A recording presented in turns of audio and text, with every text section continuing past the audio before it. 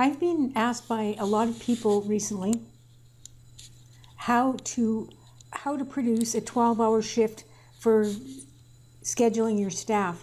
So what I've done is I've done my my go at trying to do a 12-hour shift here. I have on this shift I have room for 17 employees. The start day is March 1st, but it can be changed on to anything.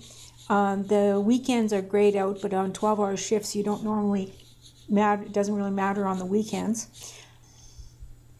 The days are, are D, O is off, N is nights. And so there you go. And at the bottom, you have a total of the number of employees that you have on days, number you have on nights, and the total number working.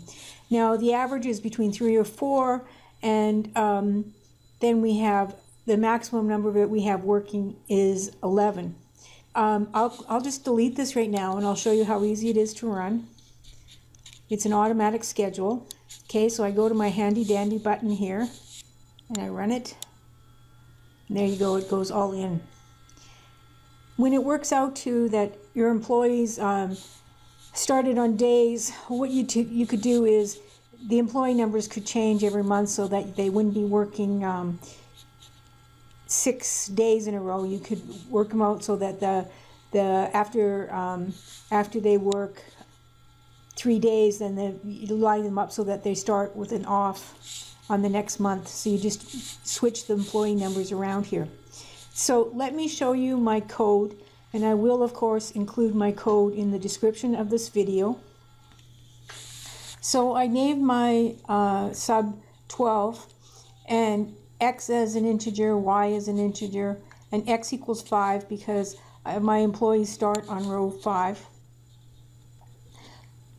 And then um, I go y equals 0, and that's one something I'm going to show you how I've done. And so what I'm doing is I'm trying to offset the beginning of the schedule. So sheet 1 cells x3, so plus y, so y being 0. And then at, and at next loop, I, it'll be y equals 1 and continue on. And so then if you look at my code on the, on the sheet itself, you'll see that I start my schedules is offset by 1 all the way down into row 13. Now, how, how I'm doing that is by, by doing the x comma 3 plus y, which is bringing it all over there. And then I'm, I'll skip down this, and then how I'm doing is I'm, I'm doing ranges of cells. Um, so I'm saying um, the ranges of the cells equals D.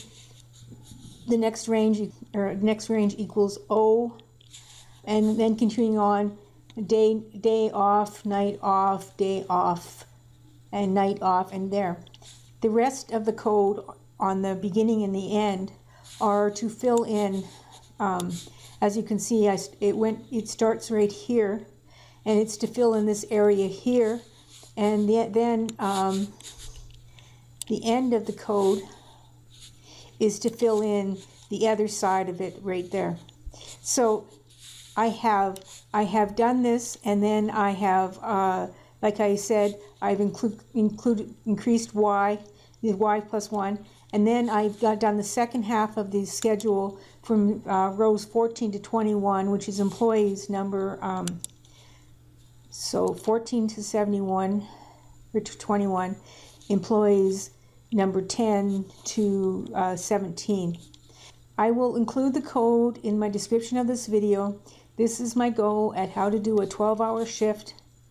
Please subscribe.